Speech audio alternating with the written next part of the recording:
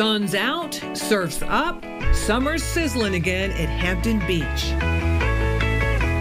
Businesses come and go each season, but this year a fixture on the waterfront has gone dark. DW's Oceanside Inn, an elegant bed and breakfast, has closed after 43 years. We're getting to the age now that we just can't do all this anymore. Deb and Skip Windemiller have run the award winning Victorian style inn since 1979. Summer help now nearly impossible to find. I start at 4 o'clock in the morning. Stay up till midnight, 1 o'clock. You know, we take turns. He's usually up in the morning and I usually stay up late. All these decades, it's been a labor of love. Skip, a self described ski bum, bought the inn on a whim. One day I was walking by and the gentleman that owned this building had a for sale sign. I thought, oh, well, maybe I could just run this in the summer and then I could ski all winter. When she came home, I says, guess what we bought? I hadn't even seen it. Neither one had ever run an inn, and the Oceanside needed a complete overhaul. No heating, air conditioning, or plumbing, and only one bathroom for the whole place. It was so old. Everything was so old, you know, and outdated. And There's nothing left here that's the same. There's not one thing here that was the same.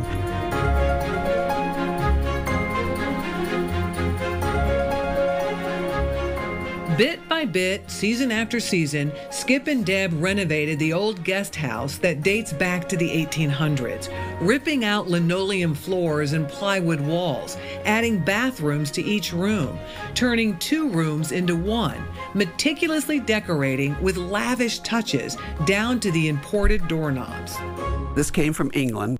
From antique furniture to stained glass windows and ornate ceilings, no detail spared.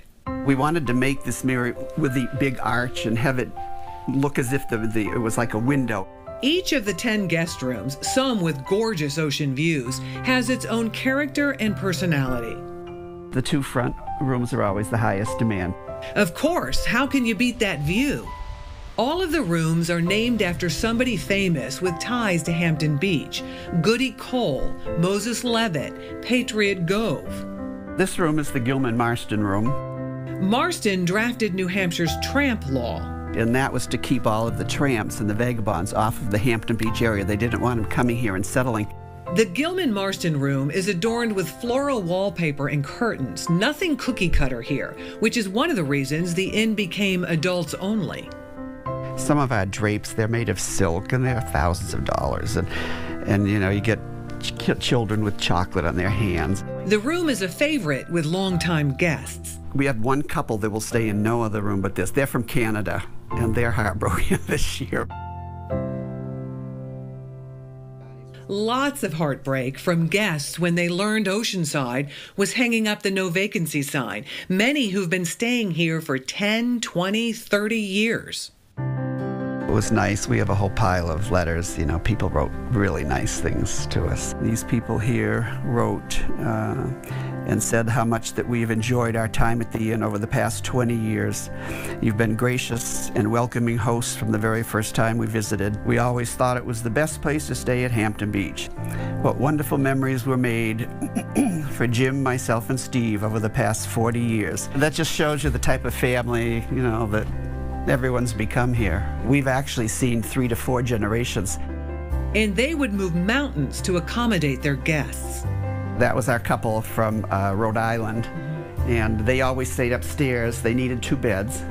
And uh, when she cried to me that time when she was leaving and saying that he can't do stairs anymore, So she was afraid they couldn't come anymore? that's right. So I told her I would build this bed in for us. We built this bed in for us, so they would have two beds on the first floor. Isn't that so nice? So that she kept coming back. Did for another three or four years until he passed away. Aw. This hat collection on the wall in the hallway started as an ode to two sisters, repeat guests. She was one of these tall grand dames that wore the big hats, even in the middle of the summer. And, and so when she passed away, her sister said, Would you like to? A couple of her hats. This hat was hers, and this one up here. Those are Oh, the these these are the two that started this this collection. Others have added their own hats over the years, each with its own memory. It is the people, the relationships that Skip and Deb will miss most. It's very sad. I mean, we're- I mean, we're happy that we don't have the work to do, but on the other hand, we're sad that we're not going to see these people that we've gotten become friends with.